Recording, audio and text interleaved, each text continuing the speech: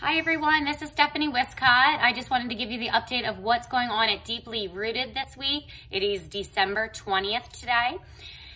Not a whole lot's going on. Uh, we're getting ready to prepare for the birth of our Lord Jesus and celebrate his birthday at Christmas. So we're taking it kind of easy. Today we have caroling with the American Heritage Girl Group. If you want more information, you can reach out to Lindsay Frazier.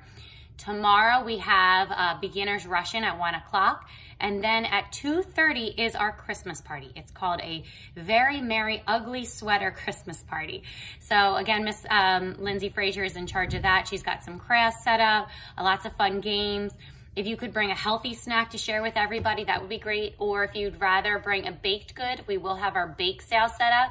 So some of our older kids, we have them um, man that station. So bring your dollar bills and 50 cents. Um, it's nice having the bake sale. One, it provides some money to help us pay for the next party that we'll have, but also it limits the kids on how many sweets they can have. So that's been really helpful.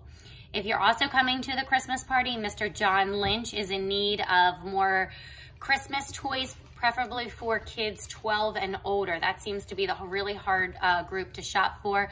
Uh, anything like crafts, um, fidget spinners, try to stay away from electronics. They really can't use those. Um, and then if battery operated games, if you could provide the battery as well with the games, that would be really helpful.